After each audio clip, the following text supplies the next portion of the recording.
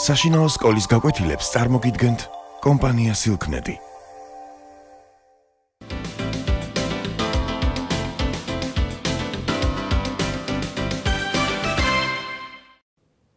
მოგესალმებით. ჩვენი საუბრის თემაა მუხრან მაჭავარიანის ლექსი საბა. მუხრან მაჭავარიანი გამორჩეული ხმის პოეტია ქართულ პოეზიაში. განსაკუთრებით შთამბეჭდავია ის ლექსები, რომლებიც პოეტმა სამშობლოს მიუძღვნა.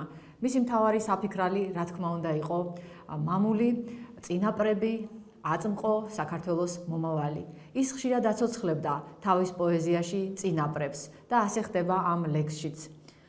ლექსში, რომელსაც ქვია საბა, წარმოგვიდგება სულხან საბა, და ცოცხლდება ჩვენ თვალწინ მე-17-მე-18 საუკუნეების საქართველო. როგორც ვიცით, ეს იყო ძალიან ძიმე ხანა ქვეყნისათვის. გარეშემტრების გამუდმებული შემოსევები ასოსდებდა ქვეყანას. ამასთან ერთოდა შინაარსილობა. ცალკეული კუთხე ერთმანეთს იყო გადაკიდებული და ერი თანდათან სუსტდებოდა, სახელმწიფო იშლებოდა, ხალხი კი ზნეობრივი გადაგვარების გზას ადგა. მაგრამ სულხას საბასნაირი ადამიანები ყველაფერს აკეთებდნენ იმისათვის, რომ ერი ფეხზე წამოეყენებინათ. და ლექსში გვიცოცხლდება ერთი ეპიზოდი, როდესაც სულხან საბა ორბელიანმა იმოგზაურა ევროპაში, კერძოდ იტალიასა და საფრანგეთში, რათა საქართველოსთვის დახმარება გამოეთხოვა. ეს იყო ძალიან ძიმე, ძნელი, ხიფათიანი გზავრობა. სულხან საბამ თავისი შთაბეჭდილებები ამ მოგზაურობისა აღწერა კიდევაც, მაგრამ სამწუხაროდ თლიანად არ შემორჩა, მხოლოდ ნაწილი არის ამ მოგზაურობისა შემორჩენილი და აქ ძალიან კარგად ჩანს სულხან საბა როგორც არაჩვეულებრივი თხრობელი. სხვა წყაროებიც არსებობს, რომლებიც მოგვითხრობენ ამ მოგზაურობის შესახებ, ეს იყო 1713-16 წლები. მაგალითად ის რომ ლუდოვიკოს ძალიან დიდი პატივით მიუღია სულხან საბა ორბელიანი როგორც ვიცით, ერთი უცხოელი მისიონერი ამბობდა სულხან საბაზე, მთელ საქართველოს მამად მიაჩნიაო და ალბათ მეფესაც მოახსენებდნენ წინდან წინვე თუ ვინ იყო სულხან საბა, რას წარმოადგენდა იგი. ცნობილია ასეთი გადმოცემაც. ლუდოვიკო ავადმყოფობდა თურმე და დაუჩივლია სულხან საბასთან, რომ 60 წელს გადავაბიჯე და რა ძნელი ყოფილა სიბერეო. სულხან საბას დაუმშვიდებია თქვენ ისეთი დიდებულებითა და მშვენიერებით ატარებთ ამას აქს, რომ ყველა ისურვებდა ამას აქში ყოფნასო. გამოირჩეოდა სულხან საბა საერთო დიპლომატიური ნიჭით, ცნობილია მისი შეხვედრები რომის პაპთან, კლიმენტი მე-11-სთან, იქაც დაიმსახურა პაპის ძალიან დიდი მოწონება, მაგრამ სამწუხაროდ სულხან საბა ევროპიდან ხელსარიელი დაბრუნდა. ახლა წაგიკითხავთ ლექს, როგორ არის გადმოცემული მასში, აი ეს შთაბეჭდილებები, რომელიც მიიღო ალბათ მუხრან მაჭავარიანმა, როდესაც კითხულობდა მოგზაურობას ევროპაში, ან კიდევ ის განცდები, რომელიც მის გულში წარმოიქმნებოდა, როდესაც ფიქრობდა ამ დიდ მამულიშვილზე. ორბელიანი ლუდოვიკო მე-14-სთან ალოდინეს და მე-15 კაცად შევიდა. 13 ლუდოვიკო კედლიდან იყურება. ციცას ეფერება ლუი მე-14.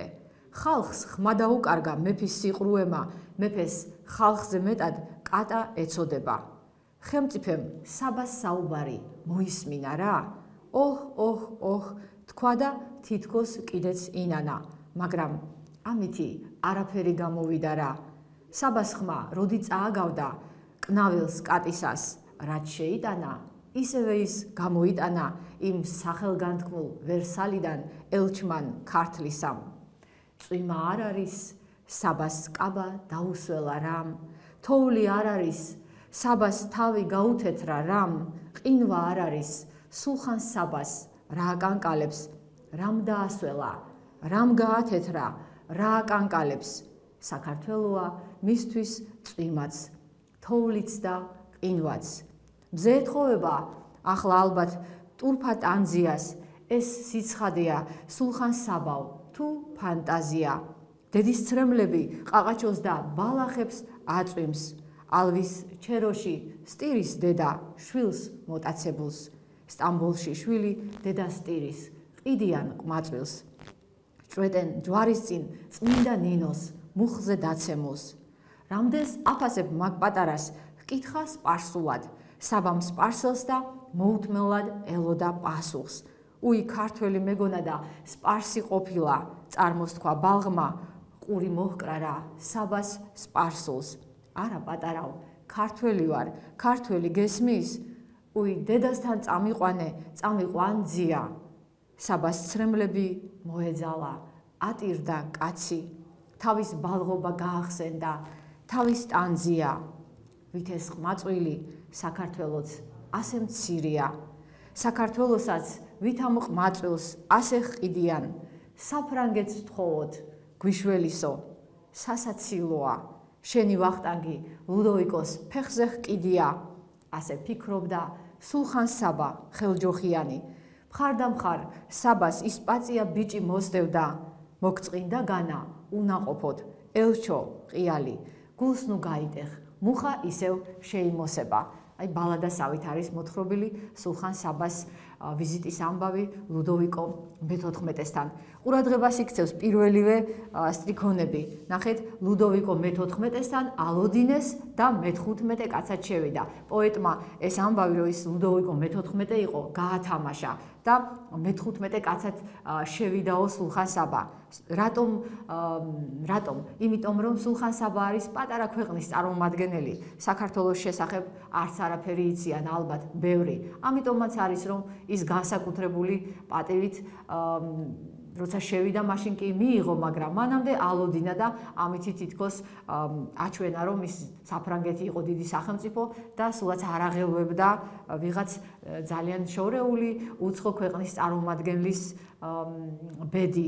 და აი ეს ძალიან კარგად ჩანს ამ სტრიქონებში, აი მე-15 კაცად შევიდა, არა, მაშინვე კი არ შეიყვანეს ესე იგი მეფესთან. არამედ ძალიან დიდხანს ალოდინეს და უნდა წარმოვიდგინოთ ამ ლოდინში რა ფიქრებით იქნებოდა სულხან საბას გული დამძიმებული. სულხან საბამ ხომ ძალიან კარგად იცოდა საქართველოს ისტორია, როგორი დიდი მოვლენებით იყო ახსავსე ეს ისტორია ყოფილა პერიოდი, როდესაც თქვათ ისეთი ბრძოლები მოუგია საქართველოს, რომელიც მთელი ევროპისთვის იყო მნიშვნელოვანი, მაგალითად დავით აღმაშენებლის მიერ მოგებული დიდგორის ბრძოლა, მაგრამ სამწუხაროდ ყოველივე ეს წარსულს ჩაბარდა და საქართველო როგორც გითხარით იყო დაშლილი, დაქუცმაცებული და ამიტომაც იყო რომ აი ამდენ ხანს ალოდინეს სულხან საბა ამ ქვეყნის წარმომადგენელი. ახლა ნახეთ თვითონ ლუდოვიკო როგორ იხატა ხდება. საკმაოდ ირონიულია მის მიმართ მუხრან მაჭავარიანის დამოკიდებულება.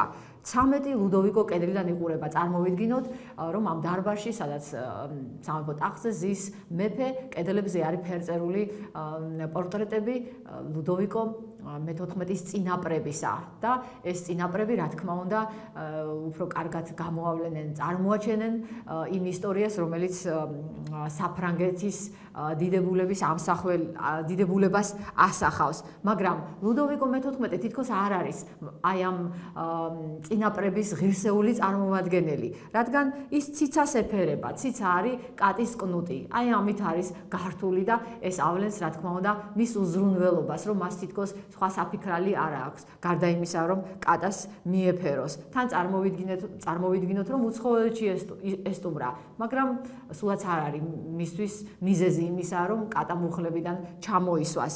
ხალხს ხმა დაუკარგა მეფის სიყრუემა. ესეც იმაზე მიანიშნებს, რომ საფრანგეთის მეფე სულაც არ ზრუნავს თავის ხალხზე. ის ზრუნავს მხოლოდ და მხოლოდ თავის კეთილდღეობაზე. მართლაც მაშინდელი სამეფო სასახლე გამოირჩეოდა საფრანგეთისა ძალიან დიდი ბრწყინვალებით, წარმოვიდგინოთ გაპუდრული პარკიანი დიდებულები, რომლებიც სხვადასხვა წვეულებებზე ატარებენ დროს და სულაც არ ფიქრობენ იმაზე, როგორ ცხოვრობს ხალხი, რა უჭირს, რა უჭირს მას და რა ულხინს და რა თქმა უნდა, აქ სწორედ ასე იხატება ეს მეფე და როდესაც სულხან საბას საუბარი მოისმინაო, ოჰ, ოჰ, ოჰ, თქვა, მაგრამ კიდეც ინანა.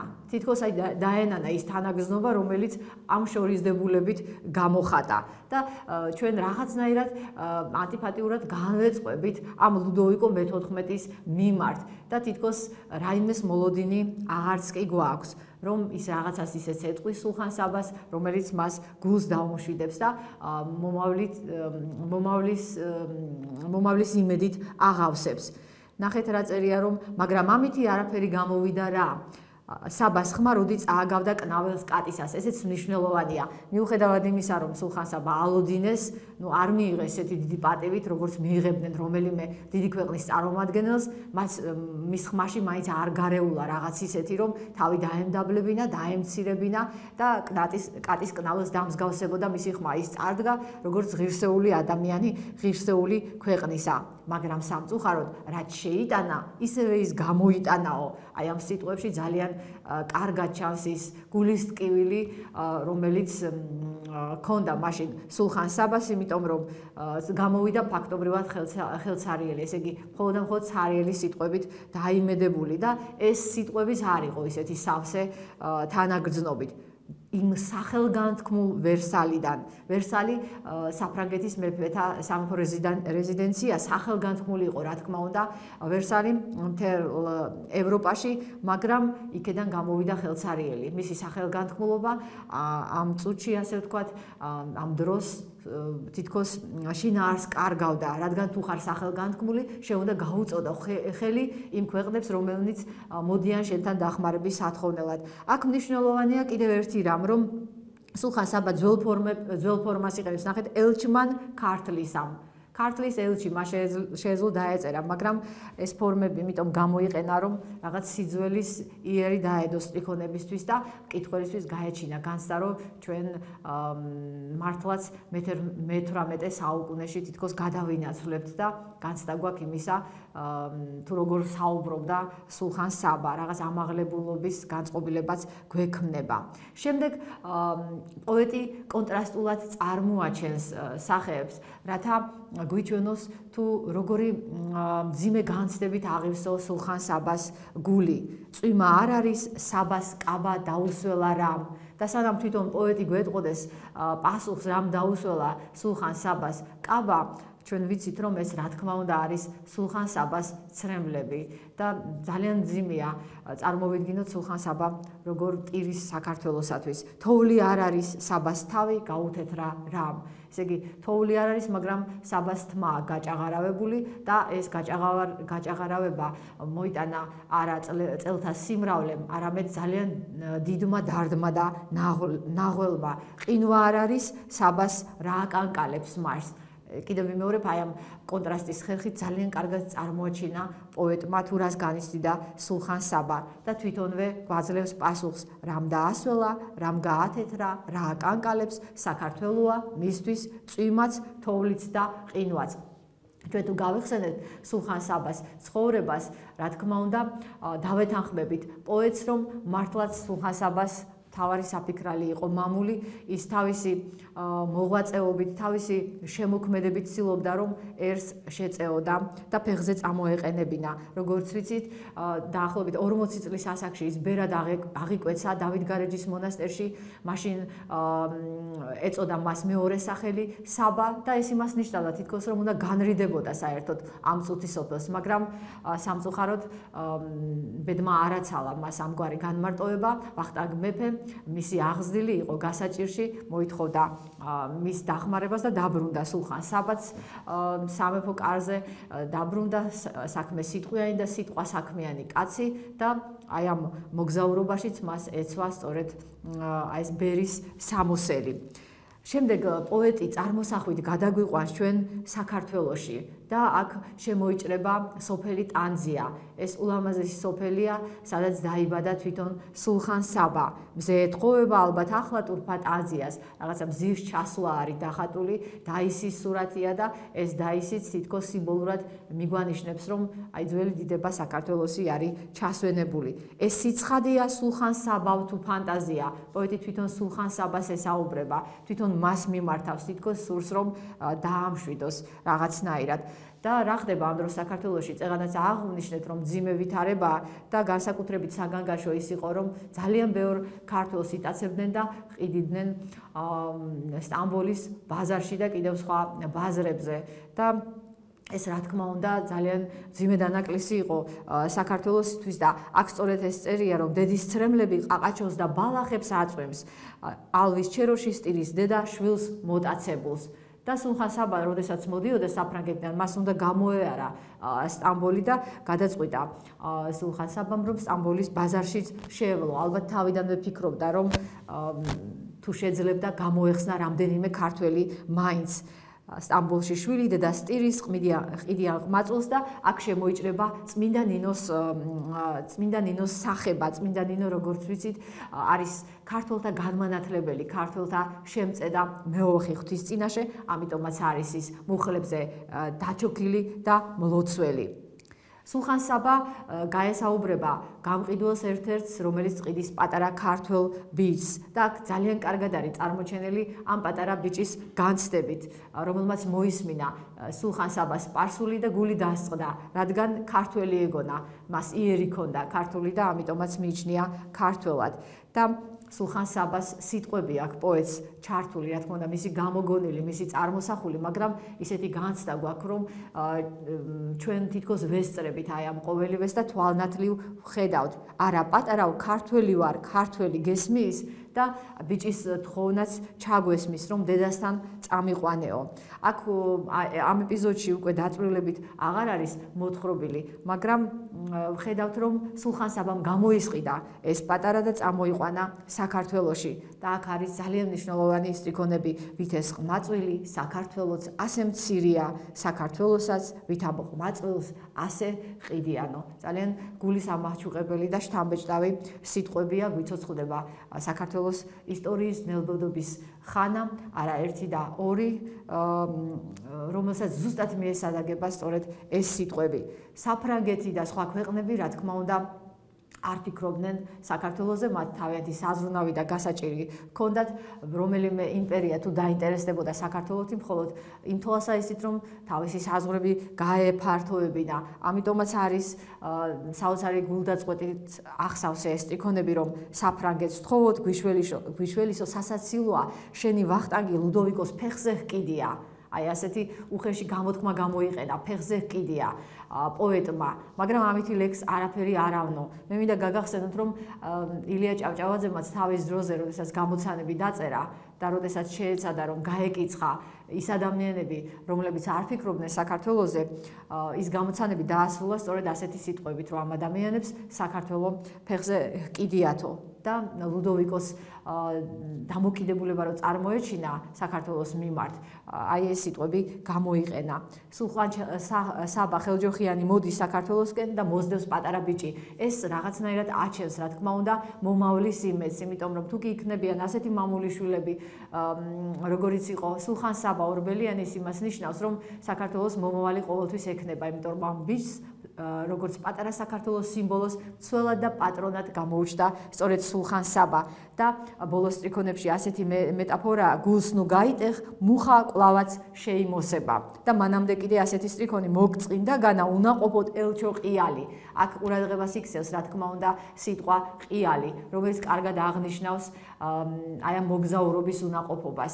ძალიან ბევრი ხიფათი გაიარა თქო ზემოთაც აღნიშნე და აი ესე ჩაიარა ამ ყოველივემ და ეს სიტყვა კარგად აღნიშნავს აი ამ მოგზაურობის უნაყოფობას მაგრამ მუხარო კლავა შეიფოთლება ეს სტიკონი არის დიდი იმედით ახსავსე. მუხა სიმბოლოა. საქართველოსი მისი გამძლეობისა და სიმტკიცისა. ხალხური ლექსიც რომ არის რომ მუმლი მუხასაო გარსეხვეოდაო მაგრამ ვერაფერს ავნებდა და მუხა ყოველთვის გადარჩებოდა. საერთოდ ხის სიმბოლოთი წარმოქმნა ერის სიმტკიცისა ხდება ხოლმე. წერლობაში მაგალითად შეიძლება გავეხსენოთ აკაკი წერეთლის ბაშიაჩუკი რომელშიც ერთი პერსონაჟი ამბობს რომ საქართველოს გავს ხეს რომელსაც რომელსაც გასახარებლად, გასაზრდელად აუცილებლად ჭირდება ოფლი და მოწამეობრივი სისხლიო. არც ერთი აკლდა ქვეყანას და არც მეორე, რადგან იყვნენ სულხან საბასნაირი მამულიშვილები, რომლებიც ოფსაც ბლომად ღვიდნენ და თავსაც წირავდნენ. სულხან საბაზე კიდევ აქვს მუხრან მაჭავარიანს ერთი ლექსი ისიც ძალიან შთამბეჭდავია, გაგახსენებთ მას. თუ მსურდეს სხვარამ ღმერთმა დამლახორს სურს მხოლოდ იგი, რაც სურდა საბას. კაცმა ქართველმა სურს ქართულად ილაპარაკოს და საქართველოს საქართველო სურს ერქვას მუდამ. თიკოს არაფერი ისეთი ნატურა და სურვილია მაგრამ ნატურად და ოცნებად ქცეულა ასეთი რამ რომ ქართველმა კაცმა ქართულად უნდა ილაპარაკოს. ამისათვის უხან საბამ, როგორც ვთქვით, ბევრი რამე გააკეთა უპირველეს ყოვლისა სიტყვის კონა დაგვიწერა და სულხან საბა სისხლს სისხლს გრძნობს პოეტი თავის ძარღვებში, რომელიც მიედინება სხვა წინაპართა სისხლთან ერთად შერეული და ის მარადის აფხიზლებს მას როგორც პოეტს და თვითონ პოეტი კიდე კიდევ თავისი ლექსებით კითხოს აფხიზლებს და მოუწოდებს რომ იყოს ის საქართველოს პატრონი, ცველი და საქართველოსზე მზრუნველი, ისევე როგორც იყო სულხან საბა. გმადლობთ ყურადღებისათვის.